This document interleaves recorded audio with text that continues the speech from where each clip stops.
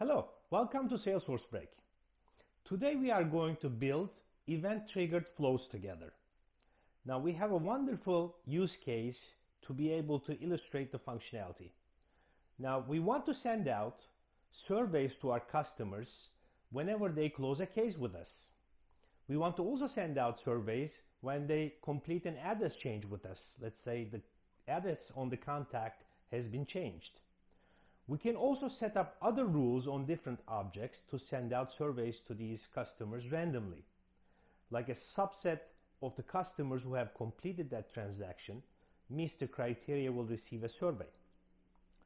Now, in a normal scenario, we would actually have to set up separate and multiple record triggered flows to be able to do this.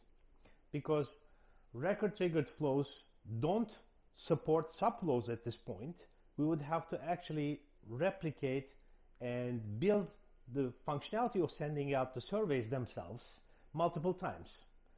But in this case, what we can do is we can set up multiple record triggered flows to define the rules when the survey is going to go to the customers.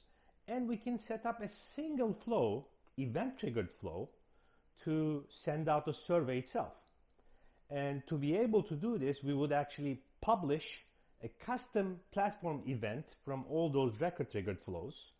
And we would subscribe and listen to that platform event from our event triggered flow. And we will trigger the email to be sent out to our customers. Let's go into the details and build the flow together, shall we? To implement this use case, uh, we first need to create a platform event. Custom platform events can be created in setup. You search for platform, go to platform events, and then you click on new platform event. It's very similar to creating a custom object. Think of your platform events uh, like custom objects that are not saved in your database. So the platform events are created, uh, subscribed to, consumed and then they vanish. So I created already a survey event and uh, in the survey event I have created a couple of fields.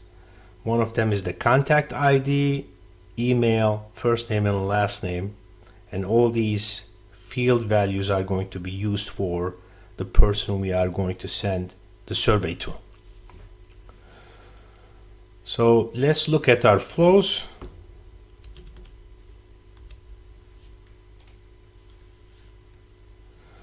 So we have two flows that are relevant here.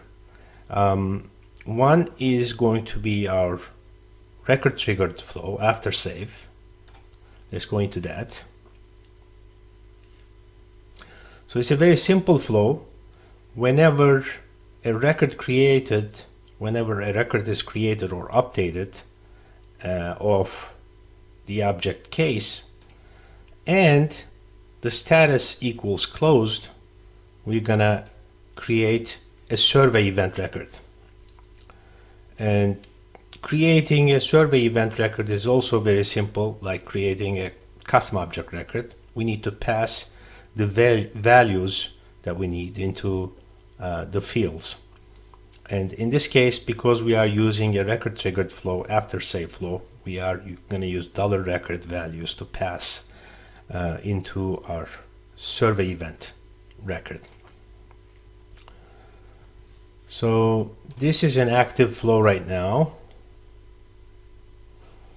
And our second flow is going to be flow create survey, which is also very simple it listens to the survey event. It's a platform event triggered flow and sends a very simple email.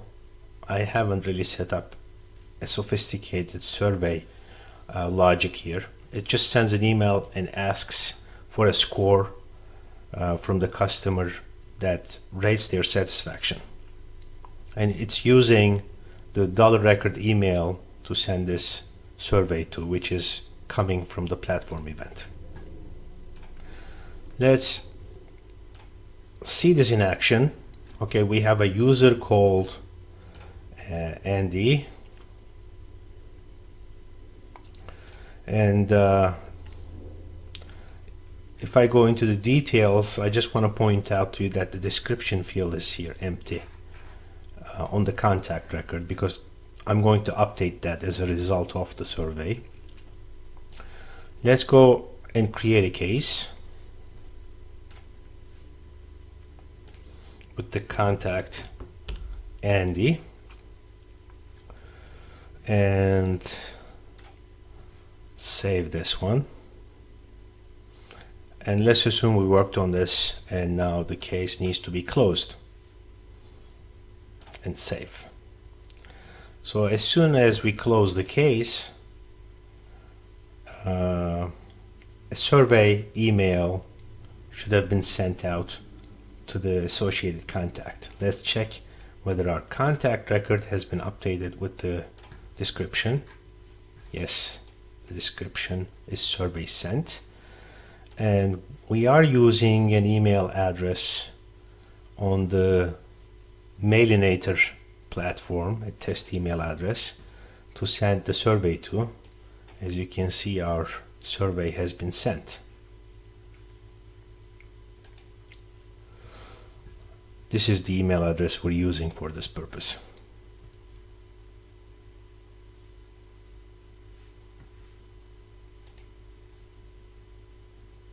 Now I have deactivated all the active flows I have created. Let's build this flow together. It's important to point out that um, you can create as many record triggered flows as you want that are uh, uh, launched based on various different objects being created or updated. I'm just showing you the case example right now. So let's go ahead and create this flow together. So we want to start this flow when a record is created or updated after the record is saved because um, we need to create an associated object record. Now let's choose the object. This is going to run on the case object. and we want this to run uh, whenever status equals to closed.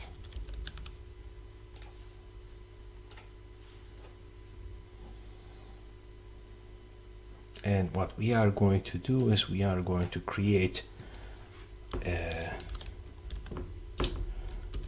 survey event.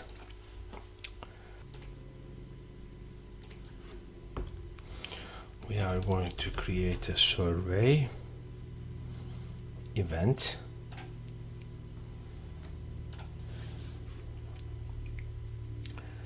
And let's pass the dollar record contact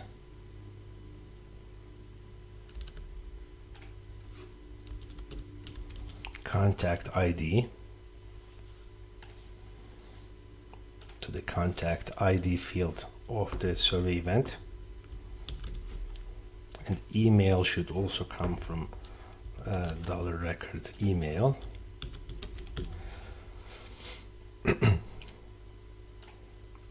um, I have also first name and last name fields, but in this simple example, they are not necessary.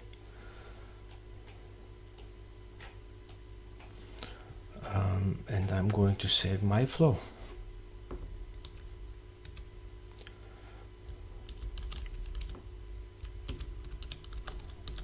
Let's call this flow create survey event, save, and activate.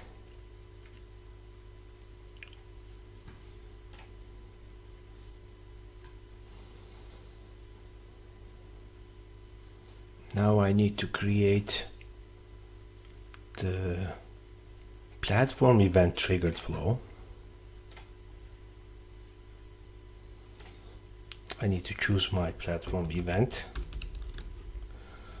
The event uh, objects are uh, ending with E on the platform.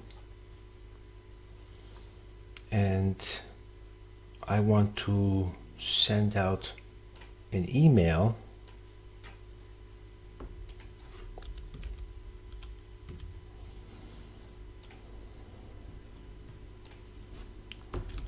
Please the body is going to say please rate your satisfaction level. Reply with a score 1 through 5 5 is the highest. And the subject is going to say customer satisfaction survey.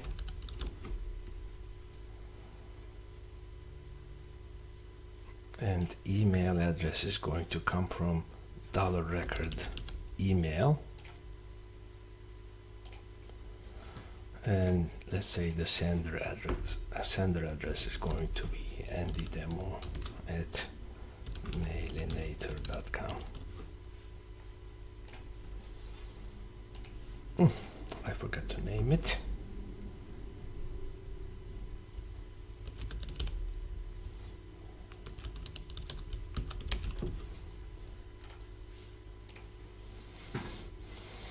so I connect the two elements together. Save.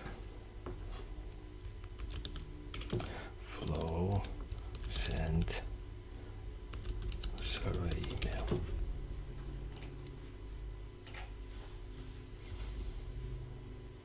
And activate. Um,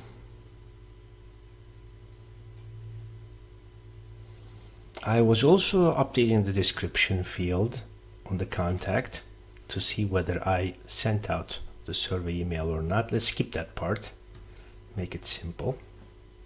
Let's go back to our Andy contact.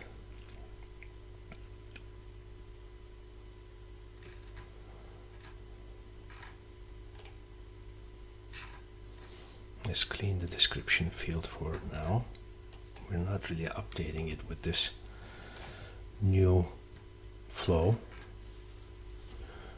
Um, let's create a new case and close it.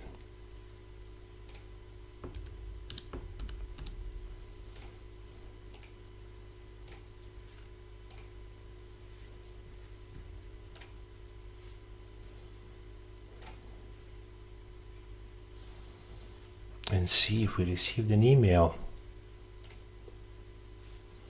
And yes, as you can see, our previous flow was sending out an email titled survey with the subject line survey, and this one says customer satisfaction survey. It works. Let's go one step further. Um, let's say we want to send out surveys to a subset of our customers randomly, not to all of them. How can we achieve that? Now, I went back and activated my original flow examples that I have created before the recording. Now here I have the record triggered flow after save flow. Let me go into that.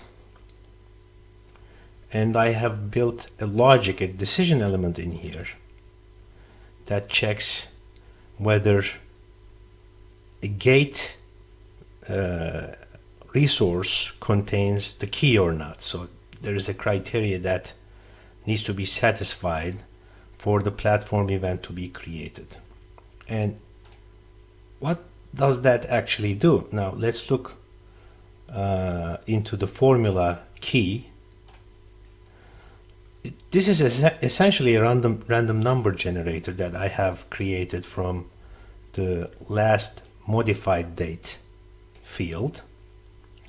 Uh, the time and date value in Salesforce ends up with an alphanumeric character and right before that you have the seconds. Now this is converting the time into text and then taking the right two characters um, the last one I want to ditch and then it's using the left one uh, left character of the last two which is the, the second uh, digit uh, of the last modified date. So let's say we have modified this record and the second was showing 39 and uh, I'm extracting here the digit 9 and this is going to yield uh, a random digit 0 through 9 for me. And I'm taking that number and I'm checking whether this number is contained in here which is a constant that I have built into my flow and it includes 1 3 5 7 9 so it's half of the digits of 0 through 9 so I'm going to be creating a survey event 50% of the time randomly for the survey to be sent out. So if you wanted to send out surveys to only 20%, then you would only include two digits in there. So it would be 20% of the time that the survey will be sent out to. And uh, you could be uh, sending out surveys also for address change on the contact and you maybe you want to send only 10% of the time and in which case you would only include one digit in your gate um, constant let's see how that works. Um, let's go back to our Andy contact. Check one more time that the description field is empty. Yes it's empty. Create a case for Andy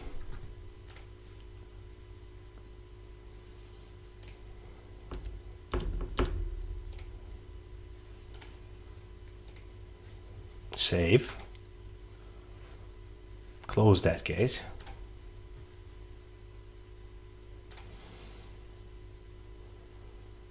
now I included on my case page layout the same formula so that I can check whether uh, an email was supposed to be sent out or not. So this number is showing one. One is uh, one of those digits that I have included in gate. So an email should have been sent out. Let's see my contact record. Whenever an email is sent out, the contact description is updated and it says survey is sent and let's check the email address that I'm sending the surveys to as you can see moments ago which means almost now like a couple uh, seconds ago an email was received for a survey so um, this concludes our example. Enjoy